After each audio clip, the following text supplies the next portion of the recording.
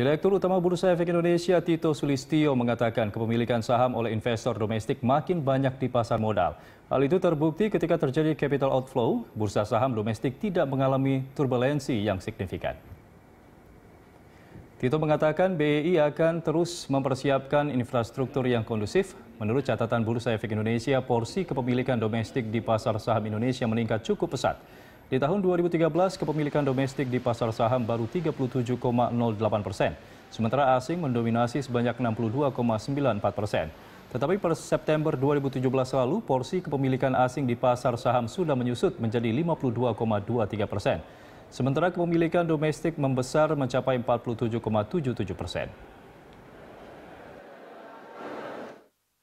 Kita lebih baik domestik kuat atau asing kuat di Indonesia?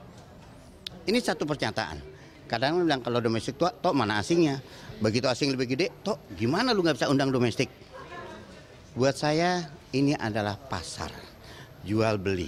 Yang penting adalah bagaimana infrastruktur disiapkan dengan baik, bagaimana kita minta tolong pemerintah perkuat rating, moga bisa triple B dari S&P, bagaimana meningkatkan bobot investasi MSCI. Kalau itu naik, saya percaya asing naik. Dana masuk.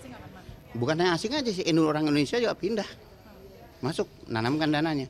Faktanya adalah pemilikan retail, retail yang baru 110 ribu tahun 2016 dan 84 ribu September itu kontribusinya lebih dari 30 persen terhadap kenaikan saham.